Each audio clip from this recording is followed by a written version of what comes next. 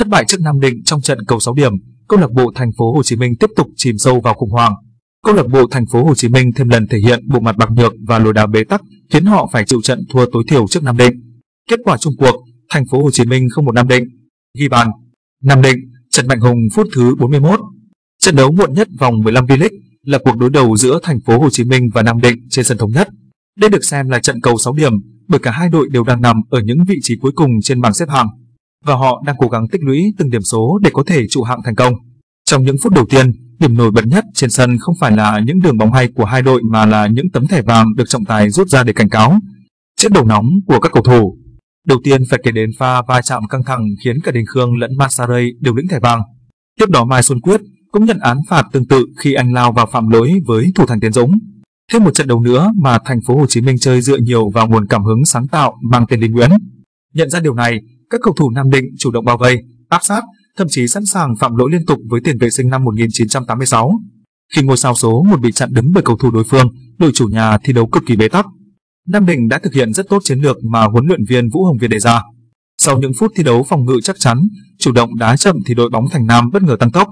Phút 41, Trương Hiếu thực hiện đường truyền dài cho Trần Mạnh Hùng để cầu thủ số 10 của đội khách ngoặt bóng vượt qua Huy Toàn, trước khi dứt điểm đánh bại Bùi Tiến Dũng mở tỷ số trận đấu. Đây cũng là cú sút trúng đích đầu tiên trong trận đấu tính cả hai đội.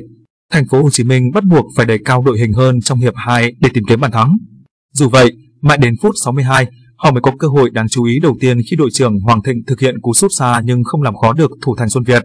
Phút 71, tưởng chừng chiến hạm đỏ đã có bàn gỡ hòa khi Lâm Tì Phong di chuyển rất nhanh vào vòng cấm, nhận đường truyền của Trọng Long. Tuy nhiên, pha dứt điểm của số 17 dù khiến thủ môn Xuân Việt đứng chôn chân nhưng lại đưa bóng đi chệch cột dọc. Chỉ 4 phút sau, đến lượt Daniel Green khiến cổ động viên thành phố Hồ Chí Minh ôm đầu nuối tiếc khi bỏ lỡ cơ hội ngon ăn. Không thể có được bàn thắng, đội chủ nhà suýt nữa để thua thêm.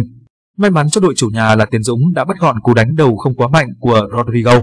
Và đến phút cuối cùng, nếu Mansaray sắc bén hơn thì đội khách đã có bàn thắng thứ hai. Trận đấu khép lại với tỷ số chung cuộc 1-0 nghiêng về Nam Định.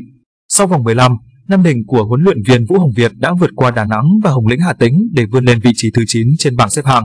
Trong khi đó, thành phố Hồ Chí Minh tiếp tục dậm chân ở vị trí áp chót sau khi trải qua hai trận thua liên tiếp dưới thời tân huấn luyện viên Trương Việt Hoàng.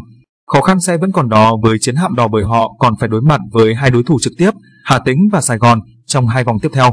Đội hình ra sân: Thành phố Hồ Chí Minh, Bùi Tiến Dũng, Võ Huy Toàn, Trần Đình Khương, Brandon Lucas, Sâm Ngọc Đức, Hoàng Vũ Samson, Ngô Hoàng Thịnh, Nguyễn Trọng Long, Daniel Green, Lê Nguyễn, Atafaroy Bagraver, Nam Định, Đinh Xuân Việt, Đinh Viết Tú, Phạm Mạnh Hùng, Nguyễn Đình Sơn, Trần Mạnh Hùng, Nguyễn Hữu Định, Phan Văn Hiếu, Alison Pereira Santana, Trần Trung Hiếu, Mai Xuân Quyết, Victor Masaray. Ở trận đấu diễn ra trước đó, câu lạc bộ Hải Phòng đã đánh bại Đà Nẵng với tỷ số 2-0, phút 61. Joseph Empentung cú cứa lòng chân trái đẹp mắt đưa bóng vào lưới thủ môn Tuấn Mạnh mở tỷ số cho đội khách. Đến phút cuối cùng, Hải Phòng thực hiện đường phản công sắc bén và Rimario kiến tạo để Văn Minh ấn định chiến thắng cho đội bóng đất cảng.